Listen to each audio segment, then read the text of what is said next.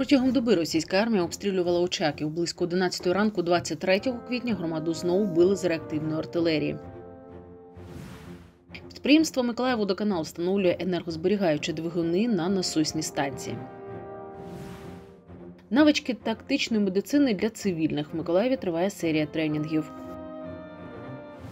В ніч проти 23 травня, за інформацією оперативного командування Південь, на Миколаївщині сили протиповітряної оборони повітряного командування Південь знищили два російських ударних безпілотники Шахід 136 та 131. 22 травня о 16.00 армія Російської Федерації артилерією обстріляла акваторію Очаківської громади без поранених та руйнувань. Повідомляє Миколаївська обласна військова адміністрація. На решті території області, за даними військової адміністрації, обстрілів не зафіксовано Брымба не туда позвонил. Житловий масив Очакова. Збита опора лінії електропередач. Одразу після обстрілу об 11 в місті частково не працював інтернет. Скло на дорозі від легкової автівки місцевого жителя. Чоловік отримав уламкове поранення та наразі перебуває у лікарні. Ну, сперва несколько взрывов было так далековато, а потом через минуты пять сирена произошла. И после сирены вот, вот взрыв прилетело сюда, я вот угловой дом. Думали, что опять повторно крышу снесло. Не, не снесло крышу, а перебило вот га- нашу газовую трубу. Пані Любов працює у будівлі поруч із місцем, куди поцілили снаряди. Жінка говорить, вже не вперше посеред робочого дня. Було дуже гучно, звичайно ж трошки так. Ну, було не дуже комфортно в цей час. Тріск і вибухи. Ми зрозуміли, що десь поряд з нами. Добре, що не влучило в нашу будівлю. Було таке, що і, пона... е, і ближче було. Поряд є. Воронка. Російські війська обстрілюють Очаків з Кінбурнської коси, говорить військовослужбовець Роман. Під вогонь артилерії та реактивних систем залпового вогню потрапляють різні об'єкти, адже б'ють хаотично. Ви самі чули, обстріли не зупиняються. Періодичність, коли їм заманеться, нічого святого немає. Люди працюють, місто, як кажуть, виживає, живе своїм життям, але через постійні ці прильоти люди не можуть робити свою роботу і багато чого не функціонує, ну, не працює. По жилим масивам, по центру міста, ринок, там, де скупчення ну, мирних людей, в принципі, ну і також військові об'єкти та позиції. Люди молодці, люди ну, постійно слухають, і якщо десь якісь там е, звуки, то вони реагують. Або новітні наші, як ви бачите, по місту поставили місця захисту, тобто бетонові ці установи. Та в принципі під час тривог е, по місту ви ж самі бачите, люди ховаються і чекають, поки буде відбій. На сьогодні в Очакові залишається близько 60% населення, та частина місцевих через обстріли на ніч виїжджає до інших населених пунктів, сказав заступник Очаківського міського голови Олексій Васьков. Валентина Гурова, Юрій Роденко, Суспільне новини, Миколаївщина. щодня зі зварювальним обладнанням. Так проходить робота Олександра, який працює в Миколаївводоканалі 25 років. Каже, взаємодія з металом йому подобається. Здесь мы сейчас демонтируем задвижку 250 для того, чтобы установить новый насос и для него э, электродвигатель под- подключим до этого насоса. И мы меняем сейчас на пластик, ставим же тоже все задвижки, ну, запорную арматуру всю более-менее с резиновыми щеками, что она не будет так подлагаться э, коррозии и будет более дольше служить. Крім Олександра, на насосній станції задіяні ще 5 фахівців. Під час виконання робіт в мікрорайоні призупинили подачу води, говорить начальник насосних станцій Тимофій Прокопенко. Це роботи планові, які виконуються згідно е, графіка виконання капітальних робіт. Після закінчення робіт і введення в експлуатацію всіх нових мереж, значить, роботи будуть е, виконуватись без е, зупинки постачання води в мікрорайон. Від насосної станції інші фахівці Миколаївводоканалу та найманої підрядної організації від технології замість аварійних сталевих труб прокладають нові поліетиленові. Роботи почалися з початку року. На сьогодні, що заплановано, це переключити чотири будинки е, багатоповерхових і ввести в експлуатацію нову трубу діаметром 200 мм, длина 160 метрів. Взагалом більше кілометра заміна е, різних діаметрів труб. Про ситуацію з водопостачанням в мікрорайоні Північний ми розпитали місцевих жителів. Как было? Аварии, конечно, постоянно в связи с соленой водой были. Но сейчас ремонт делается, слава богу.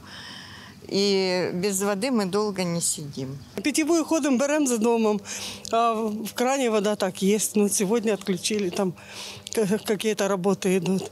А так терпимо. Не сравнить с тем, как было в начале війни. Роботи з відновлення водомережі в мікрорайоні продовжуватимуться орієнтовно до кінця червня 2023-го, каже Анатолій Голобля. Назарій Рубаняк, Євген Мінаков, Суспільне новини, Миколаїв. Тренінг організували на одній з баз товариства сприяння обороні України. Групу з 10 людей розділили на підгрупи. Зі слухачами працюють два інструктори. Відпрацьовують надання домедичної допомоги за протоколом Марч. Починають з найрозповсюдженішої причини смерті людей на полі бою та у надзвичайних ситуаціях масованої кровотечі. Людям роздають турнікети, показують, як ними користуватись.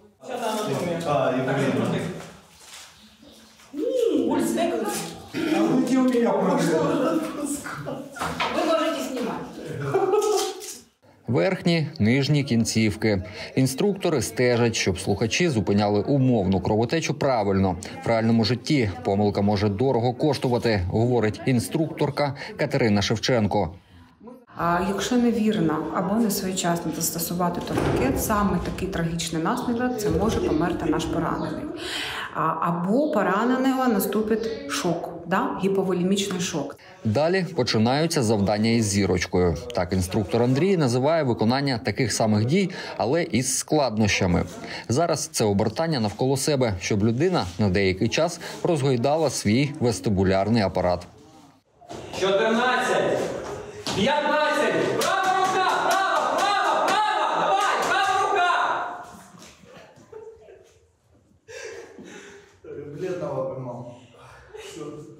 Відро треба? Рукавички, ножиці. Один із засобів зупинки кровотечі тампонування. По черзі слухачі відпрацьовують вправу на манекені, з якого витікає рідина червоного кольору.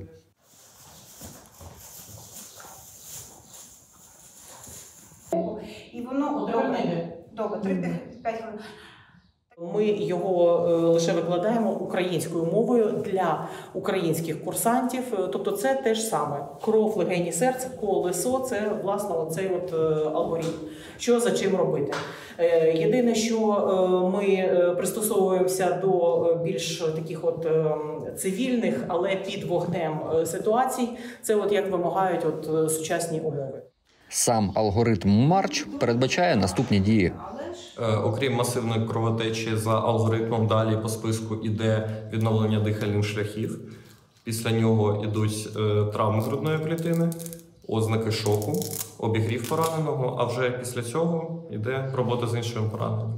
Володимир, який долучився до тренінгу, говорить, що коли з'явилась така можливість, відклав всі поточні справи. Наразі на даному етапі це дуже важливо. Це такі знання повинні бути майже у кожного, а лучше а краще у кожного. Вони і так е, в житті повинні знати, не повинні їх знати. А зараз при війні це дуже дуже ну, потрібно. Такої ж думки Катерина. На території України зараз, де відбуваються бойові дії, повинен ознайомитися з цим тренінгом е, та пройти це навчання, бо це дуже важливо. По-перше, надати допомогу собі, а потім забезпечити допомогу своїм ближнім.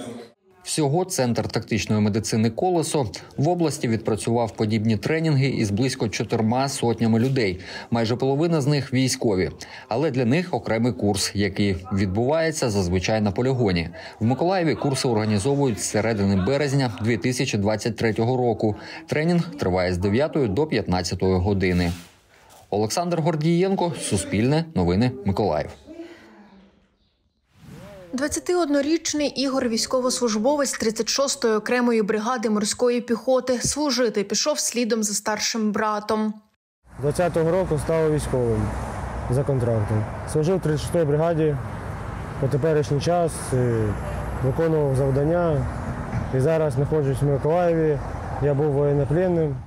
13 квітня 2022 року Ігор потрапив в полон до армії Російської Федерації. Там пробув 11 місяців. Був у Донецькій області, потрапив в полон, ми були в оточенні на заводі Ілліча, виконували бойове завдання. Було тяжко, ну, мене мотив- мотивувало те, що у мене дружина, сім'я, вони мене чекали і дочекались. Був в місті Маріуполі і в Маріуполі ми залишились. Мы зашли на завод Азовмаш, были там почти до самого последнего момента, после чего перед самым прорывом и пленом я был на заводе Ильича. З полону Ігор повернувся 7 березня 2023 року. Самое главное для родных – не терять надежду, ждать своих сыновей, мужей и так далее, чтобы им было легче, потому что ну, поддержка, она всегда нужна. Без поддержки очень тяжело. А когда ты возвращаешься, и тебя кто-то ждет, и тебя дождались, все в корне меняет дело. Дружина Ігоря Марія говорить, робила усе можливе, аби пришвидшити повернення чоловіка додому. Мы уже с самого, я с самого начала знала о том, что он э, ну, будет находиться в плену. Мы не думали, что так долго. Э, Мы бились, э, я, э, моя свекровь, э, мы писали и, в общем, мы подавали заявы всякие там разные, но это не помогало. Ну, то есть это ничего не дает. После того, как он приехал, он сказал, что это ничего не дает. С 24 февраля начал, начался ужас, потому что это был звонок э, где-то приблизительно в 5 часов утра. Ну, это просто был кошмар, потому что но это непередаваемое ощущение. Потом он пропал на три недели. Писали только смс и смс были каждые, там, допустим, там, три дня, четыре дня, два дня. И ты сидишь в ожидании того, что тебе напишут. Мариуполь – это наш город. Это они – сердце Мариуполя. 36-я бригада, я очень, я очень им горжусь, я очень его уважаю, я уважаю всех, кто был с ним. Попереду на хлопця чекає реабілітація, а після знову планує повернутися захищати батьківщину, говорить Ігор. Єлизавета Кротик, Суспільне новини, Миколаїв.